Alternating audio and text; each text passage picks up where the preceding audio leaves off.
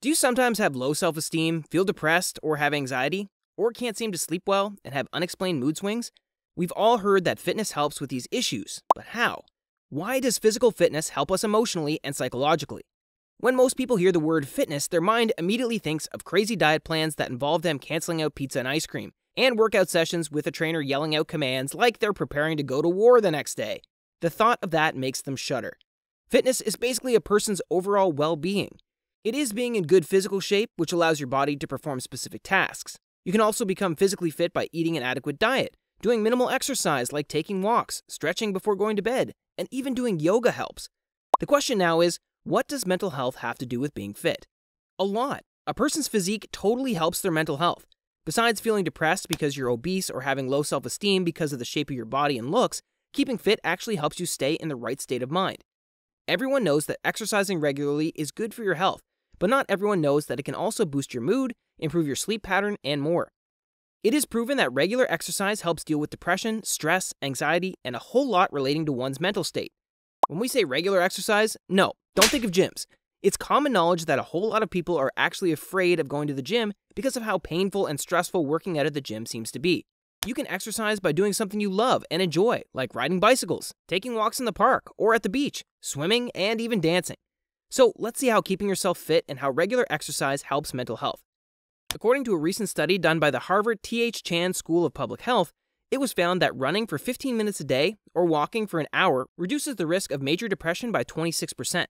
Besides acting as an antidepressant, regular exercise can also prevent a relapse. This shows that exercise can do so much to help people suffering from depression. Drugs and medication might not be necessary if a regular exercise routine is maintained.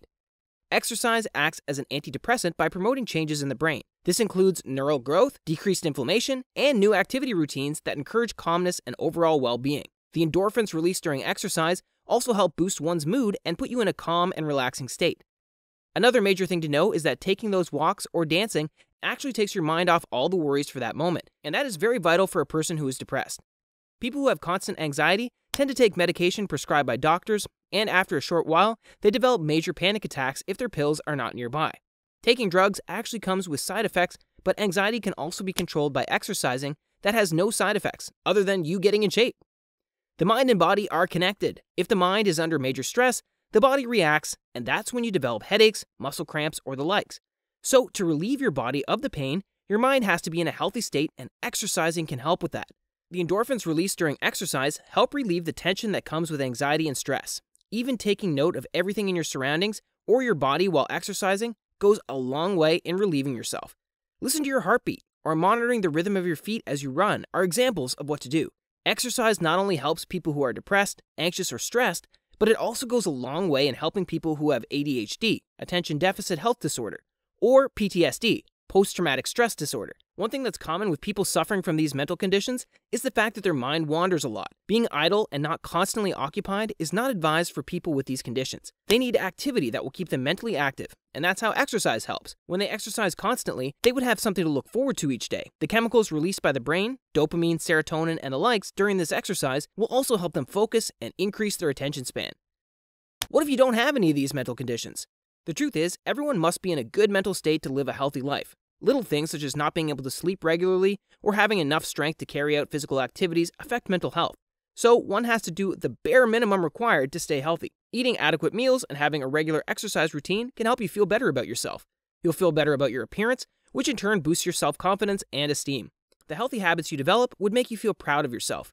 You would know that you're capable of setting goals and achieving them. Besides all that's been mentioned, you would be able to sleep properly, have more energy to carry out physical activities, and help boost your immune system and general body resilience. The main challenge that most people face is maintaining a routine. The reason why it's so hard is that they set the bar really high. For example, a person who enjoys sweet dishes decides to cancel out all carbs immediately and start living on just vegetables or protein shakes. For their exercise routine, they decide to do 100 push ups, 50 jumping jacks, and 50 squats each day. The person tends to relapse because it's not sustainable to let go of all the things you enjoy and go through so much pain all at once. How about you start slow? Consume sweet foods, but in minute quantities. We already mentioned that doing activities you enjoy, like walking, dancing, and swimming regularly, is enough to make a difference. If you decide that you want a proper workout schedule, check out other videos for tips on how to create a routine that you would be able to keep up with. It's not about doing everything all at once. It's more about doing it consistently. If you want to get active, but you're not sure where to start, watch this video next.